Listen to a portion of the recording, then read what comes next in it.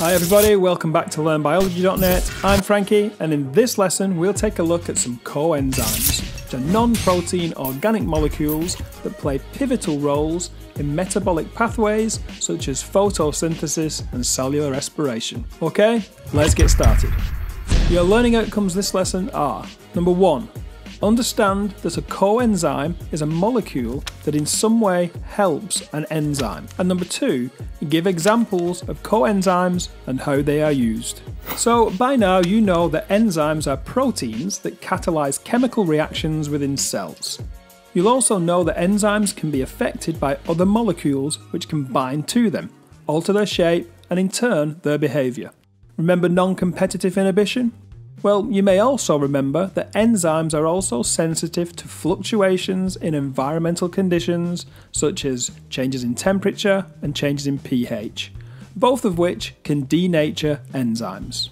So, enzymes can be pretty sensitive, and you'll know too that they are very, very specific.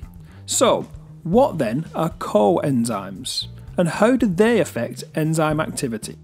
Coenzymes are non protein organic molecules that aid in some way the action of the enzyme. Coenzymes typically assist the enzyme substrate interaction by means of donating or accepting particular chemical groups. One of the most important coenzymes is the electron acceptor NAD or nicotinamide adenine dinucleotide. For example, in many enzyme reactions, electrons, often along with protons, hydrogen ions, can be passed from the active site of the enzyme to NAD.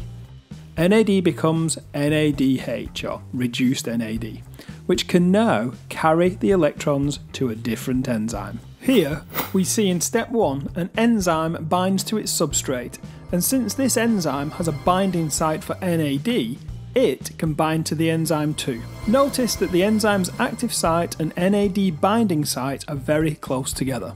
Step 2 and the enzyme substrate complex is formed and the enzymes also bound to NAD.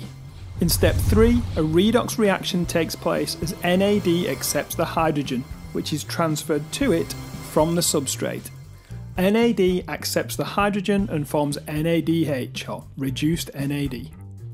In step 4, the products are released along with NADH, which now can diffuse away and is able to donate the hydrogen, along with its electrons, to a different enzyme or other molecules. Other key coenzymes utilised during cellular respiration are coenzyme A, which plays a key role in the oxidation of pyruvate by the Krebs cycle. Remember, coenzyme A transfers acetate between molecules during aerobic respiration and FAD, or flavin adenine dinucleotide. NAD and FAD transfer hydrogen ions from one molecule to another and play key roles in redox reactions, since of course both NAD and FAD are able to give their protons and reduce molecules, and they can accept protons, i.e., oxidize molecules. In photosynthesis, the coenzyme utilised is NADP, nicotinamide adenine dinucleotide phosphate. NADP is able to transfer hydrogen ions from one molecule to another NADP and is able to give hydrogen ions, i.e., reduce molecules, and accept hydrogen ions, i.e., oxidize molecules. Okay, so that brings us to the end of this short lesson on coenzymes. You'll come across these enzymes quite a lot whilst learning and revising photosynthesis and cellular respiration, so make sure you know them well. And until the next lesson, as always, take it easy.